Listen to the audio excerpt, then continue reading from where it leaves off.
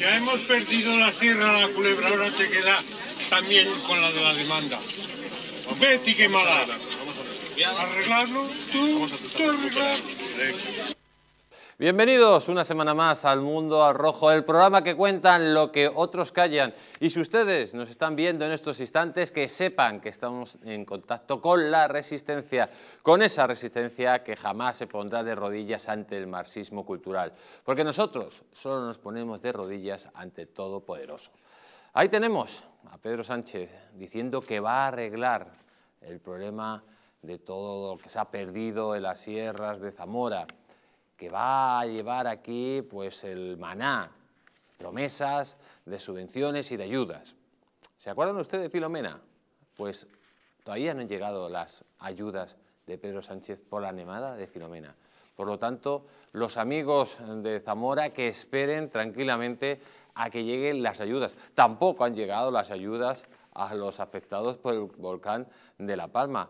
Lo cierto es que a Sánchez solo le llegan las ayudas a la fábrica de su padre o a la fábrica que antes gestionaba su padre o a la fábrica de amiguetes. Esa es la realidad. Este es el gobierno del Partido Socialista. Dicen que es el partido de los pobres, de las clases obreras. No, no, no, no, no. Es el partido de los amiguetes. Es el partido de aquellos, amigos, de aquellos que solo buscan un rédito buscando formando parte de la política.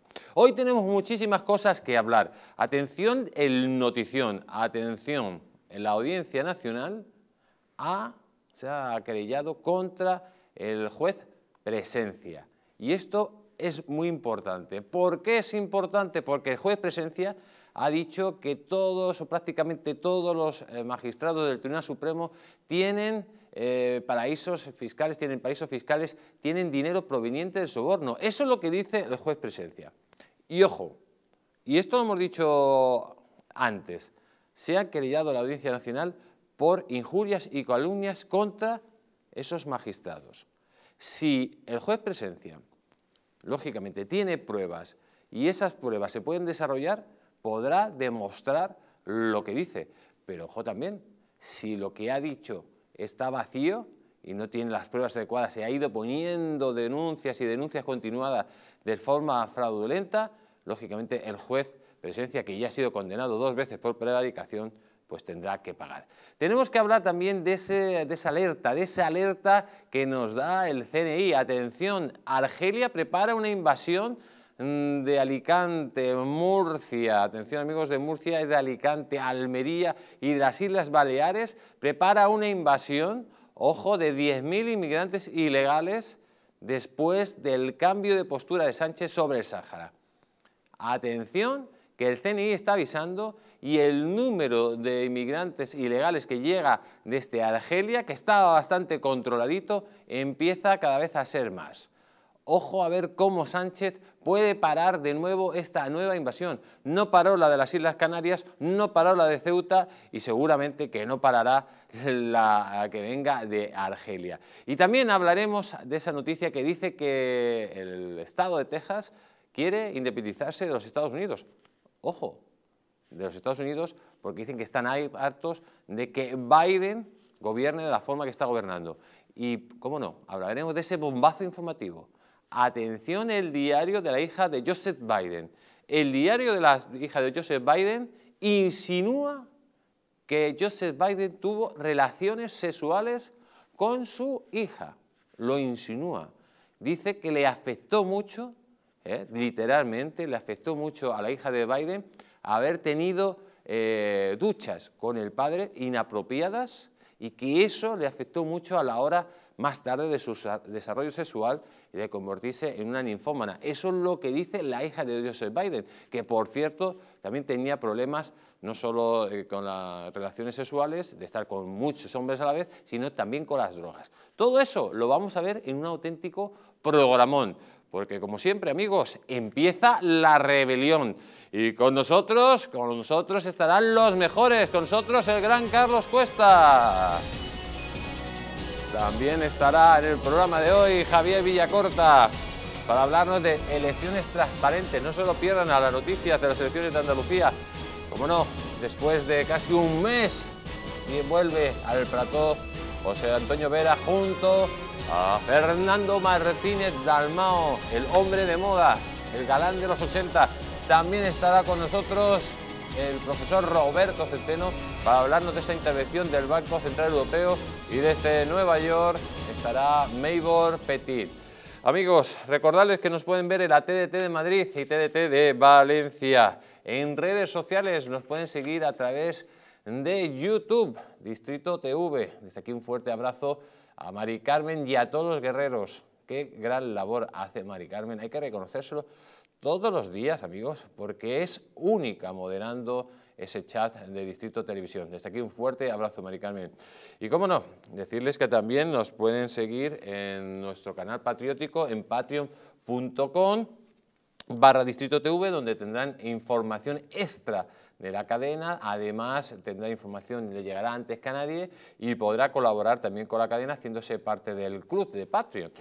También pueden mandarnos unos mensajes de WhatsApp al teléfono 669-728673 y si quieren información extra también de la cadena, pues manden el texto quiero información a ese mismo número de teléfono al 669-728673. Recordarles, amigos, a todos los amigos de la rebelión, de la resistencia, que ya no hay excusa para no ver Distrito Televisión. Nos pueden ver a través de las aplicaciones ustedes se pueden descargar en sus teléfonos inteligentes, se van a la tienda y se descargan, también en las tablets. Si ustedes tienen un Smart TV, también se pueden bajar la aplicación en los Smart TV de nueva generación, tanto de LG, de Samsung, de Google eh, Televisión como de Android TV. Ustedes se van a la tienda de aplicaciones y se baja la aplicación y nos ven igual que, por ejemplo, se baja la aplicación de, de Netflix. También a todos aquellos que no tienen un televisor inteligente pueden comprarse un Fight TV Stick, tanto de Google como de Xiaomi como de Amazon y exactamente lo mismo. Se van a la aplicación atención, se van a la aplicación, a la descarga de aplicaciones y se bajan Distrito TV. 24 horas pueden ver la cadena con todos sus contenidos y además en alta definición. Y cómo no, para todos los amigos de los Estados Unidos, que por cierto cada vez son más, y desde aquí les damos un fuerte abrazo, pues mm, nos pueden ver a través de la plataforma Roku. Y vamos a empezar, y vamos a empezar porque son muchísimas las cosas que tenemos que contar. Esta semana hemos visto pues, un auténtico bombazo cuando a alguien le preguntan, oiga, ¿usted se creería alguna vez que Andalucía iba a ganar la derecha? Pues nadie se lo imaginaba. Yo desde que soy consciente eh, me parecía casi imposible que la derecha ganara en Andalucía. Ganó el señor Arenas, ganó en su momento, pero no sacó mayoría absoluta, eh, pero no, ganó como ha ganado Juanma Moreno. Lo cierto que Juanma Moreno le gustará a ustedes o no le gustará, pero es el nuevo símbolo del Partido Popular. Porque dice, lo comparan con Ayuso, que Ayuso sacó más votos. Oiga, es que Madrid, aquí lleva el Madrid, el PP gobernando desde el año 91, 95, la Comunidad de Madrid. Ojo, desde el año 95. Es que en Andalucía se han tirado 40 años los socialistas gobernando. Y al PP ni, ni estaba ni se le esperaba. También se habla de que el partido de Abascal pues, ha tenido, bueno, tenía unas expectativas muy altas y esas expectativas pues, no se han cumplido. Pero lo cierto que también ha cazado un resultado mejor respecto a las andaluzas eh, del 18, pero peor respecto a las generales. Ahora sí, ahora tiene que seguir trabajando Macarena Olona para crear unas estructuras adecuadas en Andalucía y que vos ya sea una realidad constante y evidentemente que sea parte del panorama político andaluz y español. En todo esto, ¿quién es el que ha perdido? Y nadie dice nada. Lógicamente es Espadas y Sánchez. Y el gobierno de Sánchez está a un minuto de explotar. Y lo decimos así, las informaciones que nos llenen es que los varones están hartos de Sánchez. Los varones están hartos de un tipo que está muy alegre por haberse conocido. Y sobre todo cuando pone, cuando pone directamente en el comité anticrisis a una, a una señora llamada Lastra, a la bachiller Lastra, que la pobre cuando piensa le estallan las dos neuronas que tiene en la mente, en la cabeza. Es para hacerse temblar. Los socialistas están temblando, están viendo que esto puede ser un efecto Zapatero, como pasó con Zapatero, que se quedó en la, absoluta miseria el Partido Socialista, pero todavía peor. Y le piden que corte relaciones con Podemos urgentemente, que corte relaciones con Bildu y con la izquierda republicana. Se lo están diciendo los varones dentro del partido. Tienen miedo. Hay muchos puestos de trabajo que dependen de estar el gobierno en las eh, comunidades autónomas y ven que esto se va por la alcantarilla, que no hay nadie que lo pare. Y Sánchez, Sánchez y su egocentrismo eh, se miran a su espejito mágico y todavía se ven muy guapos, el más guapo del reino. Y lo cierto es que Sánchez ya no es más bonito del reino. Sánchez empieza a tener ya cara de sapo. De sapo que tarde o temprano tendrá que salir de la Moncloa. Porque, amigos, es cuestión de días, es cuestión de tiempo. El Banco Central Europeo ya ha cogido, ya está interviniendo a España. España sacó, salió a vender ¿eh? su deuda pública y tuvo que salir al rescate del Banco Central Europeo. Y el Banco Central Europeo ya ha intervenido a España. Ahora tendremos que ver cuáles son los términos de esa intervención. Ese rescate ya se ha producido.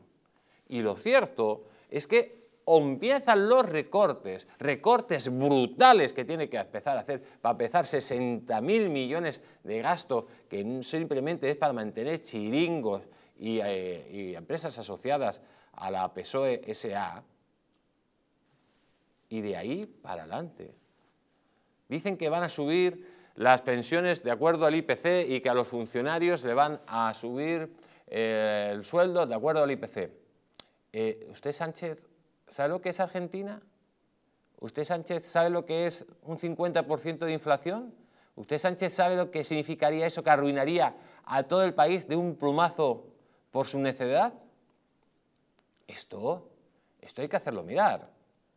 Porque, claro, lo que no puede pasar es como pasa en Argentina, que trabajan 6 millones de personas para mantener a 24. Y aquí ya empieza a pasar eso, que hay más personas que reciben subvenciones o pensiones, unos de ellos bien merecidas, otros no, que los que aportan a la ciudad social. Entonces, ¿a dónde nos lleva eso? A la ruina más absoluta. Mientras tanto, amigos, eh, hay que hablar de Oltra, de esa tipa que por fin ha demitido la bruja habría dimitido, pero no quería dimitir, porque decía que no quería que el fascismo, atención, no quería que el fascismo ganara la democracia. A lo mejor, señora Oltra, fascismo es cuando su marido, porque era su marido, iba todas las noches a abusar de esa niña menor, de la cual tenía que cuidar. Abusó más de diez veces, ojo, abusó más de diez veces.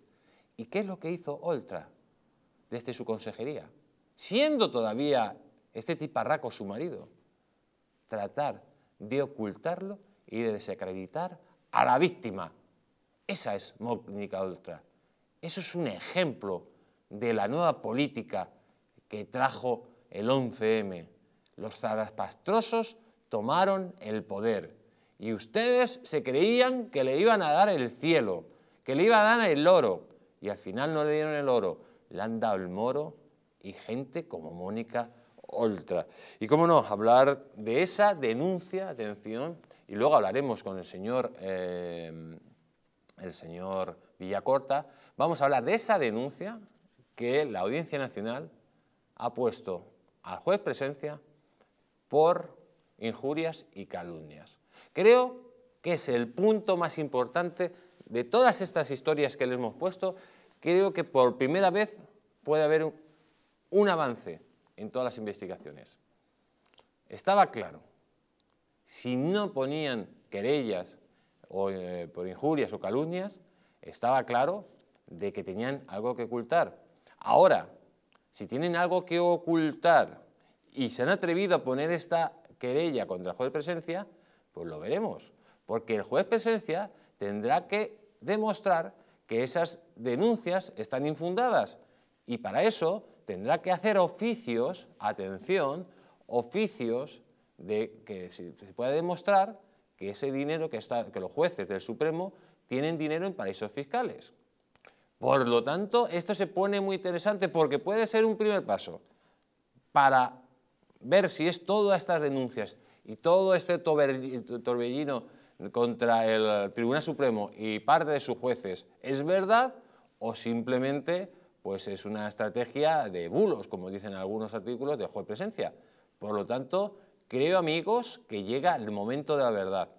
Y el momento de la verdad demostrará si nuestro tribunal principal está corrupto o no lo está y sobre todo veremos si todas las denuncias que se ha puesto contra el señor Zapatero, contra Lola Delgado, se demuestran que es verdad o no lo son verdad. Por lo tanto, ojo que hay un pulso en todo lo alto y es muy importante, es muy importante que esto pues todo el mundo lo sepa, aunque parezca que es una mala noticia, en principio puede ser una buena noticia, porque desde aquí se puede desarrollar una investigación generalizada que no han querido hacer los tribunales, por medio de, esta querella. Y lógicamente hablaremos luego más tarde, atención, de lo que pasa con el señor Biden y su hija. Atención, esto ya es escandaloso. Hemos visto al señor Biden en vídeos toqueteando a niñas. Lo hemos visto, lo han visto ustedes. Vídeos pues apestosos directamente. Hemos visto incluso otros vídeos que, bueno, que dejaban mucho que desear el señor Biden, pero es que ahora es su propia hija, por medio de su diario, que hablaba que tenían, se duchaban desnudos y hacían cosas que no eran apropiadas. Ojo, eso deja entrever que pudo haber algún tipo de relación entre padre e hija y que eso le condicionó al señor Biden o a la, hija de Biden para que luego pues entrara en la ninfomanía. Ahí lo dejamos, luego lo hablaremos. Y en definitiva, amigos, lo cierto desde aquí que tenemos que dar un fuerte abrazo a todos los vecinos de Zamora que han perdido sus tierras, sus enseres, a, todos a toda la gente de España que por el fuego eh, se ha llevado todo por delante. Lo cierto es que necesitamos que haya una actuación conjunta. Las autonomías no dan servicio, el Estado tendría que tener centralizado todos los servicios antiincendio como en su momento lo tenían. En definitiva, cada vez que hay un incendio, perdemos todos. Y aunque luego vaya Sánchez a decir tonterías y que va a arreglarlo, lógicamente no arreglan nada. Y recuerden amigos, que no les engañen los políticos mentirosos porque la verdadera libertad, ¿en qué consiste? En estar bien informados.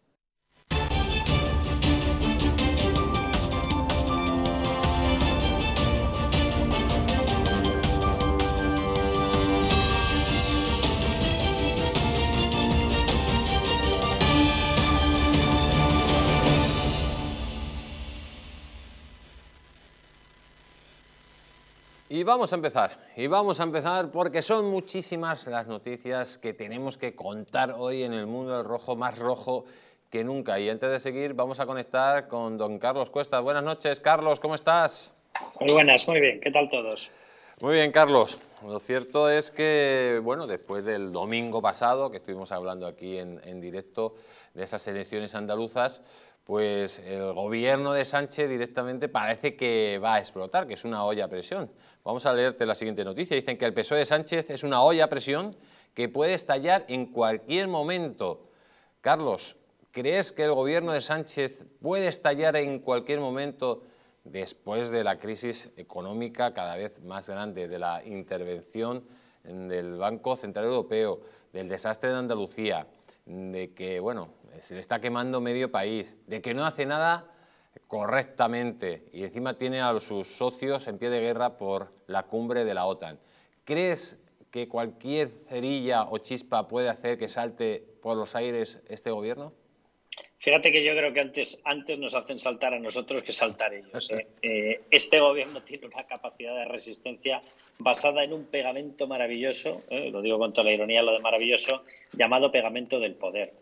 ¿Dónde van a ir algunos de los que están ahí dentro? Algunos es verdad que tienen oposición, tienen, tienen cargo judicial, etcétera, pero ahí hay no menos de 15, 16 personas, que dónde van a ir para tener un sueldo como el que están disfrutando en estos momentos y dónde van a ir después del papelón que han realizado en sus labores de gobierno a lo largo de, este último mandato. Yo, sinceramente, creo que van a intentar agotar todas las posibilidades que tienen de, permanecer en el poder aunque con ello, efectivamente, y en eso sí que te doy la razón, Jesús Ángel, eh, vayan destrozando todas las expectativas de recuperación económica seria, real, por parte de España. Eh, que vamos a una intervención de cabeza o a un memorándum of understanding, como le llaman en Bruselas, y que vamos a tener presencia de hombres de negro y que nos van a exigir un gran recorte, eh, las probabilidades son altísimas. Es literalmente insostenible el nivel de gasto que tenemos y ese nivel de gasto está condicionado precisamente por la presencia de Podemos dentro del Gobierno, que exige pagos a sus distintos colectivos y, por supuesto, por los apoyos que mantiene este Gobierno con Bildu y con Esquerra, que a su vez efectivamente exigen exactamente lo mismo. Seguir pagando determinadas prebendas, chiringuitos, gastos en inversiones extraordinarios en determinadas comunidades autónomas, discriminando a otras, etcétera, etcétera, etcétera. Ahora, precisamente todo eso lo hacen para permanecer en el poder. Con lo cual, mientras que ellos puedan seguir sangrándonos, mientras que puedan continuar con el saqueo fiscal a los contribuyentes, yo estoy convencido que esto permanecerá. ¿Cuándo se puede romper esta, esta goma? Y eso sí que es verdad que el chicle se puede acabar rompiendo. Se puede romper si el Banco Central Europeo nos pone pegas excesivas para comprarnos la deuda. Nosotros en estos momentos no estamos colocando nuestros bonos en criterios de mercado. Los estamos colocando con una asistencia brutal de compra directa por parte del BCE. Si de veras las condiciones son muy rígidas para comprarnos, si de veras se baja mucho esa compra, que ya ha empezado la rebaja de la compra, y si de veras Bruselas, para darnos ese nuevo rescate que nos ha anunciado, nos exige un recorte drástico, entonces sí podríamos ver que estallara esta olla a presión. Ahora, estos guisantes, estos garbanzos, eh, conviven de maravilla en esa olla a presión. ¿eh? Convivimos mucho peor nosotros que tenemos que pagar la olla. Pues sí, parece que conviven muy bien esos garbanzos dentro de la olla. Carlos, eh, esta semana ha dimitido la que fue vicepresidente de la Comunidad Valenciana, Mónica Oltra, y ha salido toda la izquierda, toda la izquierda en comandilla, sobre todo a apoyarla, sobre todo de parte del gobierno, el gobierno en completo a apoyarla. Sin embargo, se han, se han olvidado de la víctima, de la niña, la cual el marido de Oltra eh, abusó diez veces. Eh, quiero a continuación que comentes la siguiente noticia. El aterrador relato ocultado de la menor que denuncia al marido de Oltra. Carlos, ¿cuál es el relato de, de esa menor que todo el mundo está ocultando, que todos los medios de comunicación están ocultando de forma, bueno, casi miserable y es verdaderamente lo que tendría que estar constantemente se denunciando y que la, que todo el gobierno tendría que estar con esta niña, no con una mujer que ha ocultado estos abusos. Fíjate, yo ahí quiero, quiero recordar una cuestión que me pasó a mí personalmente y es que efectivamente hubo una especie de cierre de filias entre muchos medios. Hubo otros que no, evidentemente, pero éramos pocos los que decidimos que había que sacar la cabeza. Y en mi caso concreto, que yo cogí esta causa con, todas las de la ley y con todo el convencimiento y me siento orgullosísimo de, hacer lo que hice en su momento y de lo que ha acabado, eh, a mí Mónica Oltras se lió a escribir mensajes mencionándome, intentando buscar poco menos que una especie de, respuesta, lo voy a dejar ahí, social eh, mencionando Carlos Cuesta dice, Carlos Cuesta segura, Carlos Cuesta no sé qué. Eh, Mónica Oltra llegó incluso a redactar una supuesta reclamación con visos de ser judicial, la publicó en Internet, nunca jamás me llegó, nunca jamás me llegó esa reclamación asegurando que todo lo que yo estaba publicando era falso, era mentira. Bueno, en estos momentos su marido está condenado a cinco años por esos abusos sobre una menor de 14 años y ella está imputada por eh, la presunta eh, ocultación o, la presunta paralización de los mecanismos de defensa de la menor y, según dice el escrito, eh, en estos momentos de imputación, con uno de dos fines, presumiblemente, o proteger a su marido, porque en aquel momento era su marido, la gente dice ex marido, ex marido lo fue después, en aquel momento era su marido, o, lo que es todavía más no, segundo, proteger su carrera política.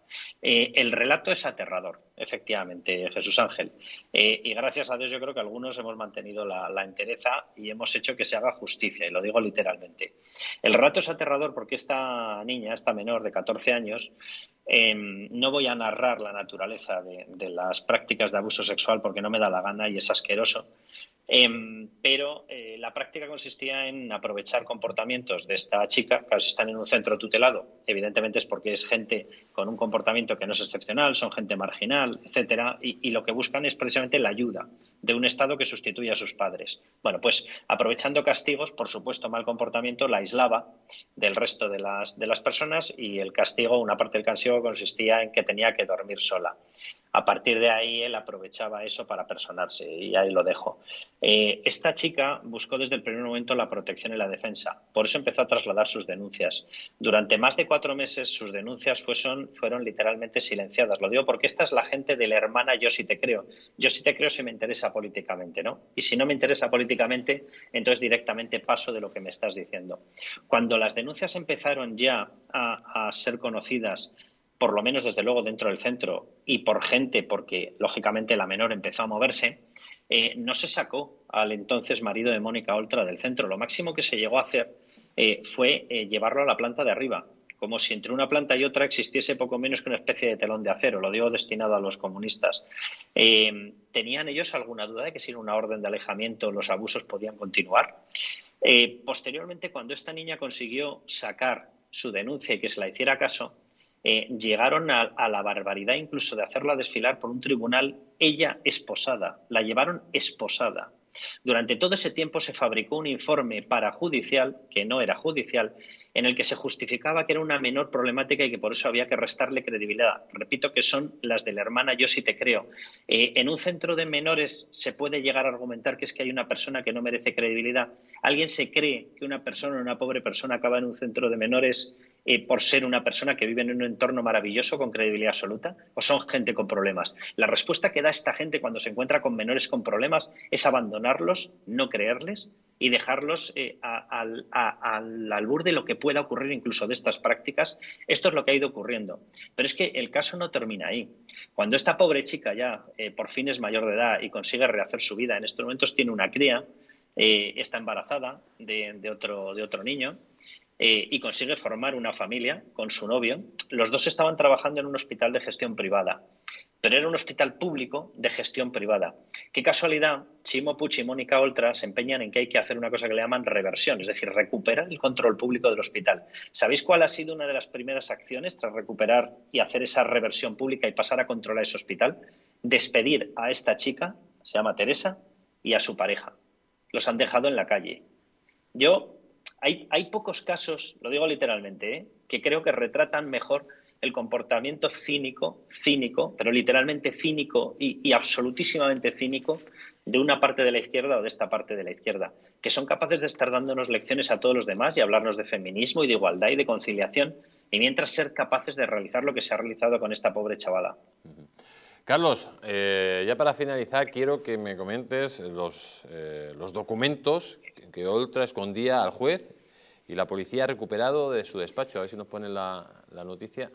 Ahí lo, tenemos, los, documentos eh, que ella directamente estaba escondiendo y que ha recuperado la policía. Esto puede ser determinante, ¿no, Carlos? En el sentido de que, bueno, eh, queda evidenciada de que intentó tapar, sí o sí, como tú has dicho, pues eh, esta investigación.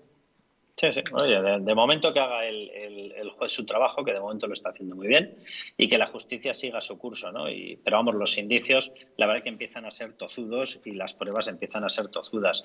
Eh, estamos hablando de dos documentos, son dos instrucciones de la Generalitat Valenciana, firmadas por la Dirección General de Familia, papá, papá, tiene varios apellidos, y el menor, del año 2004. Posteriormente ese departamento se reformula, se le cambia el nombre y acaba siendo Dirección General del Menor, simplemente. Los dos van en la misma dirección, el de 2013 sustituyó al de 2004 y los dos documentos exigían que en el momento en el que se tuviera la más mínima constancia, noción, noticia, intuición, cualquier cosa, cualquier signo, se tenía que activar todo el protocolo de protección de la menor. Y se tenía evidentemente que dar parte y dar aviso a distintas instancias. Aparecía un listado de teléfonos entre eh, distintos eh, de ellos y distintas instituciones, como no figuraban los servicios jurídicos. Es decir, se tendría que haber avisado a instancias judiciales y se tendría que haber avisado a la instancia judicial. Lo primero que hace, obviamente, si ve indicios, es avisar a la policía e instar diligencias. Por tanto, se tenía que haber activado desde el segundo uno, desde el segundo uno, se tenía que haber activado toda la actuación de protección judicial y policial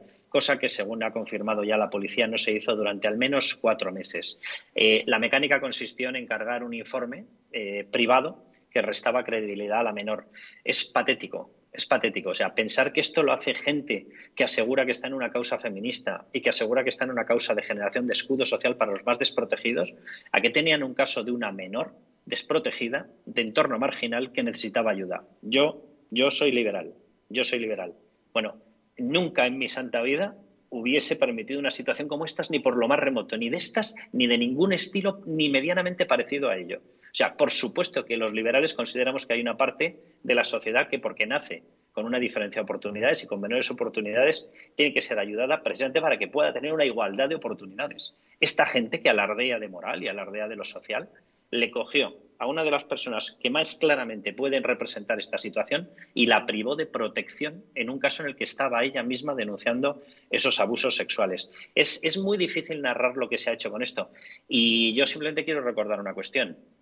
El síndic de Greuges de, allá, lo pronunciaré mal seguro, lo siento, no, sé, eh, valenciano, eh, la Cámara que se tenía que encargar de defender los derechos de este tipo de personas, de cualquier persona, en, en la comunidad valenciana, estuvo exigiendo durante años que se tenían que poner en marcha protocolos en esa consejería y en los centros de menores, precisamente para garantizar la inmediatez del traslado de las denuncias. Bueno, hasta 175 casos recolectó el Partido Popular, con los cuales se fue de nuevo a este síndic, a este síndico, a reclamarle que por favor exigiera de nuevo a la Consejería y a la Dirección de Menores que implantara ya esas mecánicas. Durante 175 casos no había hecho, perdón por la, por la redundancia, ni caso.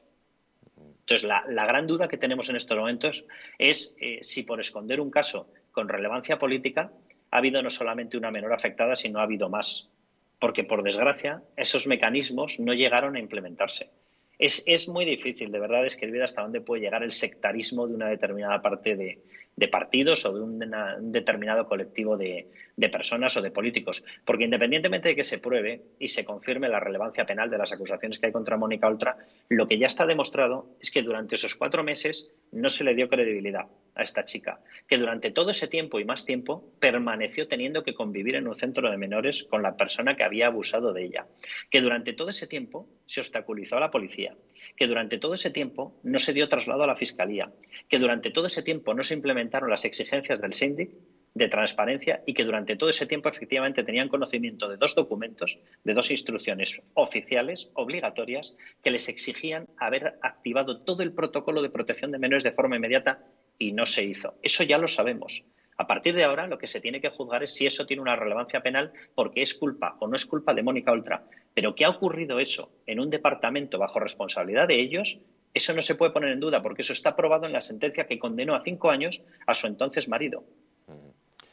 Pues eh, Carlos, eh, muchísimas gracias por haber estado en el programa y recordarte que mañana te vemos a las 22 horas aquí en Distrito Televisión en tu programa con España Cuestas con, imagino, con nuevas novedades. ¿Tienes algo que adelantar?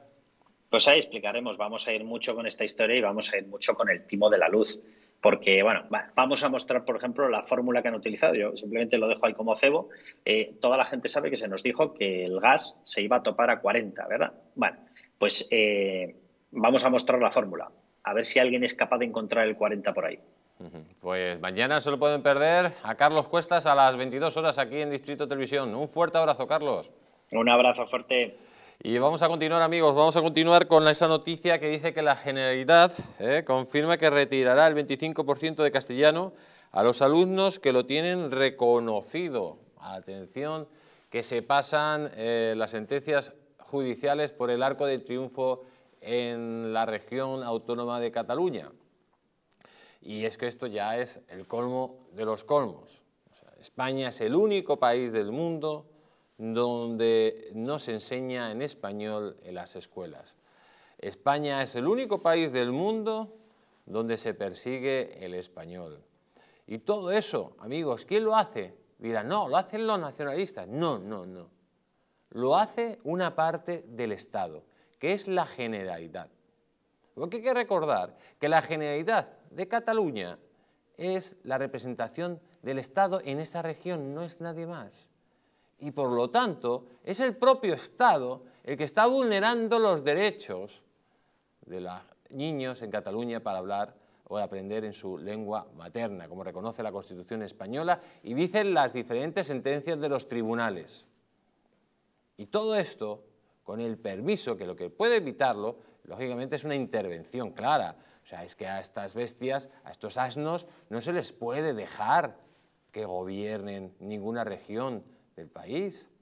Amigos, es que esto se asemeja claramente a las leyes sectarias de los años 30 en Alemania o las leyes sectarias que había en Alabama, en Estados Unidos, contra, por ejemplo, contra los negros. Esto es leyes contra lo español, contra la cultura, contra aquel que quiere hablar en su lengua, que quiere aprender su lengua, que se reconoce la Constitución. Y estos vulneran la ley día sí, día también, y no pasa nada. ¿Qué clase de Estado tenemos? Donde el propio Estado vulnera los derechos fundamentales de nuestros ciudadanos y es la otra parte del Estado que tendría que poner orden, coge y mete la cabeza como el avestruz en el suelo. ¿Para qué me saquea usted a impuestos, señor Sánchez?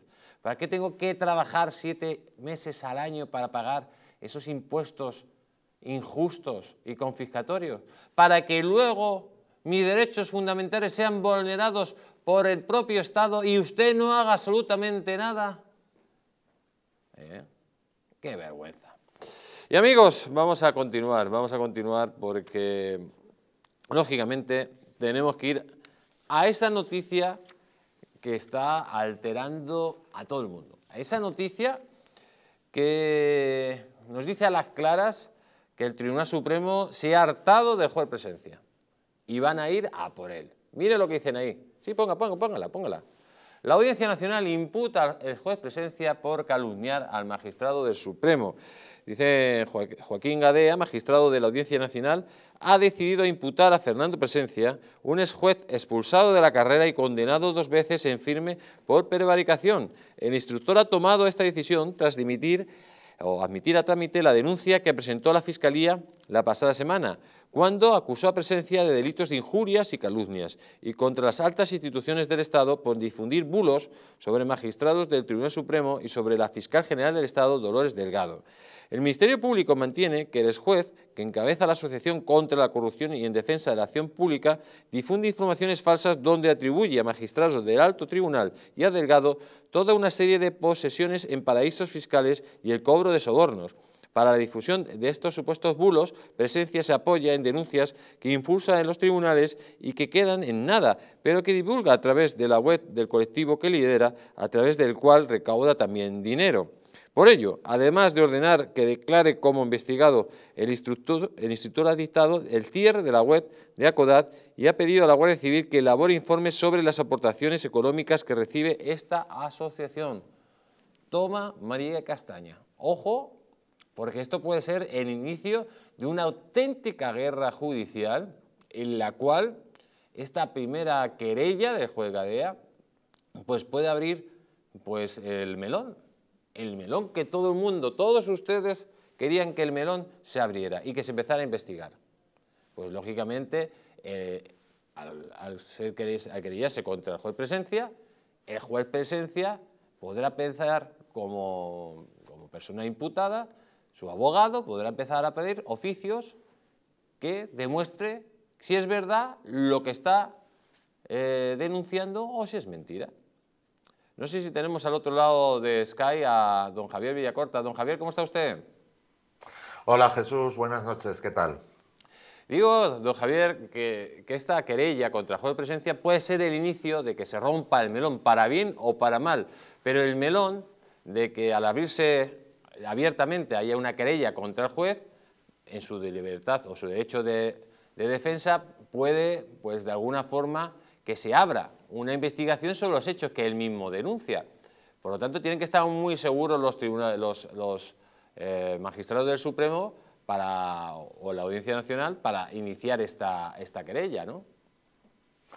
Bueno, es que es todo, es todo un poco surrealista, porque para empezar no se investiga lo que el juez presencia denuncia. Recordemos que este tipo de denuncias están amparadas bajo una directiva de la Unión Europea aprobada en 2019, que todavía no se está aplicando en España, que protege a los denunciantes de corrupción. Es decir, el juez presencia tiene todo el derecho del mundo a denunciar eh, supuestos o presuntas tramas de corrupción que pueda haber tanto en la política como en la judicatura española, es decir, en el Estado.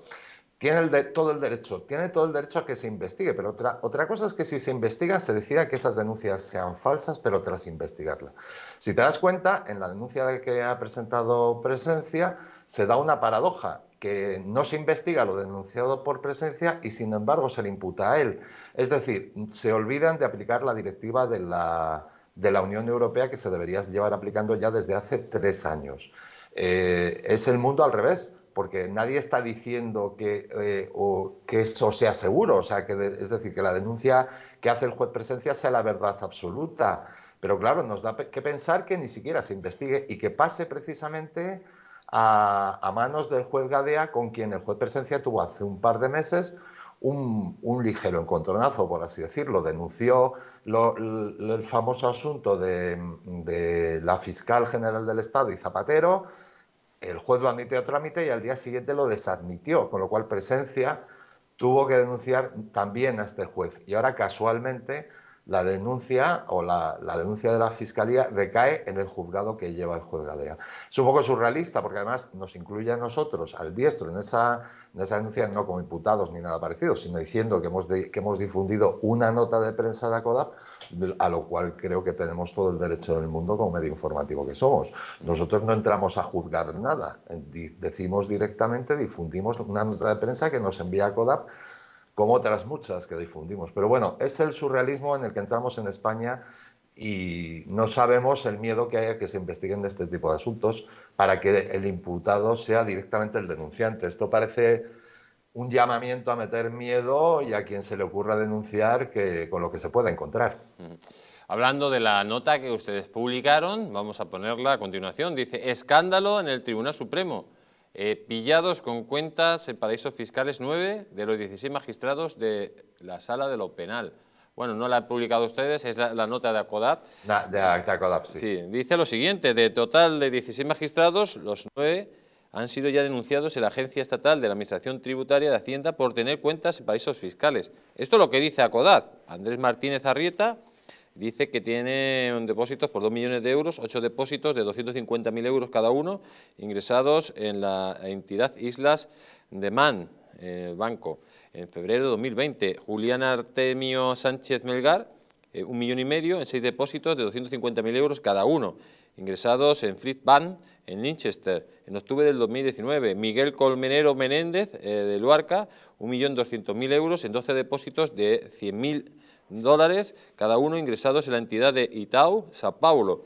Andrés Palomo del Arco, 1.200.000 en seis depósitos de 200.000 euros cada uno, ingresados en la entidad Banístimo de Panamá. Pablo Yarena Conde tiene 2 millones de euros en ocho depósitos de 250.000 euros cada uno, ingresados en la entidad VP Bank de Winchester. Vicente Magro Serves, 750.000 euros en cinco depósitos de 150.000 euros cada uno, ingresados en el Banco de Luxemburgo. Susana Polo García, un millón de euros en 10 depósitos de 100.000 eh, dólares cada uno, ingresados en la entidad Blandes de Panamá. Carmen Lamera Díaz, 1.200.000 euros, y Ángel Luis Hurtado Andrián, 1.800.000 euros, también otro país fiscal como son las Islas Seychelles. En, señor Villacorta, o sea, esto es muy grave, lo hemos dicho, lo que está denunciando el juez presencia, está diciendo que han sido pillados, eh, incluso ha insinuado de que ese dinero viene de sobornos, y claro, el juez presencia se la juega, porque tendrá que demostrar, ante la denuncia que le pone la Audiencia Nacional, si, primero, existe este dinero en los paraísos fiscales, eso es lo primero que tendrá que demostrar ahora con esta denuncia, y segundo, si ese dinero viene de sobornos. Porque ¿no cree usted que el propio juez de presencia se ha adelantado a decir, o decir que este dinero viene de sobornos Porque a lo mejor el dinero existe, pero claro, decir que ese dinero viene de sobornos es mm, ir más allá de, ¿no? Bueno, yo no puedo valorar eh, judicialmente ni legalmente lo que el juez presencia diga. Él es juez, yo no lo soy. Entonces él sabrá muy bien como juez que es lo que dice, lo que puede decir o lo que no puede decir. Lo que está claro es que esto hay que investigarlo y no se puede decir simplemente que es mentira, sin más. Y si se investiga, pero además sería relativamente fácil, digo yo, porque no creo que sea muy complicado oficiar a esos bancos que figuran ahí y ver si esas cuentas realmente existen. Entonces, de, no existir y no haber existido nunca, pues evidentemente la denuncia sería falsa. Pero ¿qué pasaría si existiera? Entonces, aquí la cuestión es investigar. Si lo único que se está diciendo es que se investigue, porque nosotros nos hacemos eco de la información, pero nosotros desconocemos la, el fondo de, esas, de esas informaciones porque son los jueces los que, pueden los que deben determinar e investigar, e investigar todo esto. Mm. Don Javier, pero igual que le he dicho esto del juez presencia, también le digo lo contrario. O sea, al poner la querella la Audiencia Nacional, se abre el melón. ¿Qué quiere decir? Que ahora el juez presencia podrá dictar eh, oficios directamente mm, para ver eh, que esto se vea, que estas informaciones son verdades verdaderas o falsas. Por lo tanto, aquí se la juega también eh, la Audiencia Nacional y el, Tribunal Supremo su credibilidad. Eh, hay que dar una parte de cal y otra de arena. O sea que puede ser también un auténtico bombazo de que se inicien las, verdaderamente las investigaciones que él está solicitando, ¿no? Claro, o sea, esto es una, un arma de doble filo en realidad para la justicia, porque me imagino que en la imputación o en el momento de la declaración del juez presencia ante el juez Gadea, este tendrá, eh, presencia tendrá que presentar las pruebas y Gadea tendrá que ordenar investigarlas para ver si son ciertas, porque suponemos que no se habrá decidido ya si son verdaderas o falsas, porque entre otras cosas no, había no habría dado tiempo. Prácticamente ha sido todo, todo seguido. Se ha denunciado por parte de presencia, la, eh, se ha actuado contra él, pero no ha habido tiempo para investigar lo que en realidad denuncia el juez presencia. Sí que es un arma de doble filo y sí que esperamos que sirva por lo menos para esclarecer todo lo que está sucediendo, que porque lo que se está denunciando es tremendamente grave. Recordemos que estamos hablando del Tribunal Supremo. Imagínate, Jesús, que todo esto fuera cierto. ¿Con qué nos encontraríamos? En fin, con una indefensión absoluta y, y bueno, una situación prácticamente de Estado fallido. Eh, bueno, en toda esta historia, lo que es curioso es que el que esté instruyendo este caso sea el juez Gadea, que ya instruyó el caso de Zapatero y de Dolores Delgado, que en un principio la imputó y luego lo desimputó, y el juez de presencia se, le denunció al juez Gadea por, prevaricación, y ahora es el propio juez Gadea el que tiene que instruir este caso. Pero es que además tienen que instruir este caso después de la denuncia que hace el juez de presencia. Atención lo que dice el juez de presencia en otro de sus escritos. Dice, el escándalo de los sobornos a jueces y fiscales se aplica también a la Audiencia Nacional. Dice, Gadea, francés, ya había sido imputado por el juzgado de instrucción número 1 de Madrid, junto con Zapatero y Dolores Delgado, en las diligencias previas 800 2022. Ahora ha sido denunciado ante la eh, Administración de Hacienda por compartir con quienes parece que sea su pareja, Jesús Moreno Baena, 1.100.000 euros en dos paraísos fiscales de 400.000 euros en la entidad Kaiser Panther de Privat Bank en Manchester y 700.000 en la entidad Unión Bancaria Privada de Luxemburgo. También ha sido sorprendido con cuentas en paraísos fiscales el fiscal jefe de la Audiencia Nacional, Jesús Alonso Cristóbal, por un importe total de 1.825.644 euros en las entidades panameñas Blandes y Banismo. Eh, señor Villacorta, esto es como más, más leña al fuego. Em, si lo voy a repetir, o sea, si el juez presencia todo esto es una, una falacia, es para que termine directamente en prisión por, porque está poniendo denuncias de un calibre brutal. Pero si esto es verdad, como usted ha dicho, es un escándalo sin precedentes y también es curioso que sea siempre el juez Gadea el que esté metido en juzgar al juez presencia o en instruir los casos de juez presencia. ¿No cree que tendría que abstenerse y ser otro juez el que hiciera las investigaciones previas, porque de alguna forma está involucrado, ya que el juez presencia le está denunciando también por tener dinero en paraísos fiscales? Es que, claro, repito, yo no soy jurista, pero claro, aquí lo más lógico es que en principio la primera reacción de ser, del juez presencia sería, tendría que ser recusar al propio juez Gadea.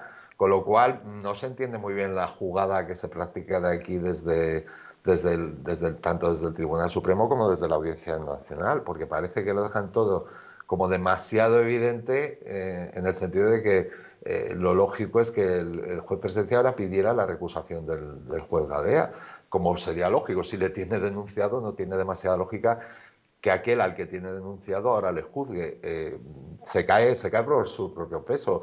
Con lo cual parece en principio, en principio también pudiera parecer incluso una medida no sé, como decorativa, como para que salgan los medios, para que los medios de comunicación ya masivos, los más grandes, porque de esto sí que se hacen eco y sí que lo juzgan, se hagan eco de esta noticia y no de las anteriores. Si te das cuenta, no tiene mucho sentido y parece que busca precisamente la recusación del propio juez y, que todo tenga un, simplemente un bombo mediático. No lo sé, no, no tiene demasiado sentido, la verdad. Vamos a cambiar de tema, señor eh, Villacorta. Eh, ustedes publican la siguiente noticia, dicen, elecciones transparentes presenta una denuncia por haberse incumplido nuevamente la ley electoral en las elecciones de Andalucía. ¿Qué ha pasado de nuevo en las elecciones de Andalucía, señor Villacorta? Eh, lógicamente, usted tiene más información. Pilar Baselga es una de las líderes de esta plataforma. Eh, el señor Vargas, que para descanse, era otro de los líderes. ¿Y qué ha pasado? ¿Se está cumpliendo la ley electoral o no se cumple la ley electoral en España? Pues no se cumple y, no, lleva sin cumplirse desde hace mucho tiempo. La ley electoral a lo que obliga es a que, eh, a que el, miércoles posterior a las elecciones haya lo que es el recuento físico de las actas electorales de, de todos los colegios donde se han celebrado las elecciones de las que estemos hablando. En este caso, Andalucía. Pero bueno, ha pasado en las generales, ha pasado en las de Castilla y León, ha pasado en las de Madrid y parece ser que vuelva a pasar en Andalucía. Ayer, ayer eh, gente de elecciones transparentes estuvo en las juntas electorales provinciales, en este caso. Parece que se nos corta. Y nuevamente se dio por bueno el. ¿Perdón? No, no, que parecía que se cortaba. Sí, sí. Hable rápido porque parece que ya empiezan los duendes a intervenir cuando va a usted hablar algo muy concreto. La gente se crea que le estamos censurando, pero que sepa usted que es directamente que son las comunicaciones. Sí, sí, es así, es así. Esto, esto es surrealista ya. Bueno, lo que, te, lo que te venía a decir es que efectivamente ayer en la, en la Junta Electoral Provincial de Sevilla nuevamente no se, dieron por buenos los resultados informáticos que ofrece Indra la noche electoral. Recordemos que Indra está controlada por el gobierno, por el PSOE. El presidente de Indra es del PSD. Y, nuevamente Pilar Baselga ha tenido que presentar denuncia tanto, el magistrado, tanto contra el magistrado encargado de ese recuento como contra el secretario, porque a pesar de que los requerimientos realizados por Pilar Baselga, asistente al, supuesto conteo, a pesar de esos requerimientos, se negaron a hacer el recuento electoral que debe hacerse de, las actas electorales. Es decir, nos encontramos con que los resultados provisionales, que sean dos horas más tarde de celebrarse unas elecciones, y se dan por definitivos. Nos encontramos con que los resultados electorales que ofrece una empresa privada son los definitivos y, son los que eh, obligan a formar gobiernos en España. Un tanto extraño y un tanto escandaloso que después de lo que hemos visto en Estados Unidos, en Francia, en un montón, y ahora mismo hace bien poco en Colombia también, pues nos encontremos con esto en España. Parece que, en fin, que la cosa huele y pinta bastante mal. Pero, y además con los resultados que se han dado, que no son nada lógicos tampoco. don Javier, em, no, el juez se, se olvidó de hacer el recuento, como según dice la ley, pero no se olvidó de cobrar los 3.000 euros que se llevó por dos horas de estar allí, ¿no? Es que, es que eso es lo que habría que mirar, los sueldos que se cobran por, por estar en, eso, en ese tipo de actos, que son altísimos. Y además las amenazas que se vierten normalmente contra las, las personas que están presentes para que se cumpla la ley. Es algo absolutamente surrealista. En España no se cumple la ley electoral. En España hay una empresa que es Indra cuyos resultados son los que ponen y quitan presidentes del gobierno y presidentes de comunidades autónomas, alcaldes, concejales, etcétera, etcétera, etcétera. No se cumple la ley electoral. Y esto es algo evidente. No tiene más que comprobarlo cualquiera de ustedes cuando haya unas elecciones y cuando acudan a lo que debería ser el conteo en una junta electoral provincial, como verán cómo se da por bueno el resultado de Indra, con un agravante, que encima hay personal de Indra en esos, en esos recuentos, los cual, lo cual carece completamente de sentido, algo que no, para nosotros no, tendría por qué ser así. Pues don Javier Villacorta, muchísimas gracias por haber estado aquí en el Mundo al Rojo. Reciba usted un fuerte abrazo. Igualmente, me alegro que al final hayamos salvado esta conexión. Un abrazo. al final la salvamos. Gracias. Un fuerte abrazo. Gracias. Buenas noches. Y amigos, nos vamos a publicidad, pero antes permítame darles el siguiente consejo. Si ustedes quieren estar en un auténtico paraíso en la Costa del Sol, Hotel Las Dunas. Hotel Las Dunas, un lugar mágico en el corazón de la Costa del Sol, en primera línea del mar, situado en un oasis de armonía y de tranquilidad, enfocado en la salud y bienestar de nuestros huéspedes. Desconectad del estrés, la monotonía del día a día, fines de semana de relax, estancias con programas exclusivos y personalizados de salud, rejuvenecimiento y control del peso, elegancia y bienestar junto al mar, sin renunciar a la actividad y la vida saludable. Descubre las Dunas Hotel, el más exclusivo de toda la Costa del Sol. Amigos, nos vamos a publicidad, pero no se vayan porque vamos a hablar de esa invasión que prepara Argelia, más de 10.000 inmigrantes ilegales que llegarían a las costas españolas según denuncia o ha avisado el CNI al gobierno español. También vamos a hablar de cómo eh, Marruecos se quiere quedar con aguas territoriales de España en Canarias y lo va a hacer por medio de la ONU y España ni está ni se le espera. No se lo pierdan amigos porque si se van, esto no se lo cuenta nadie.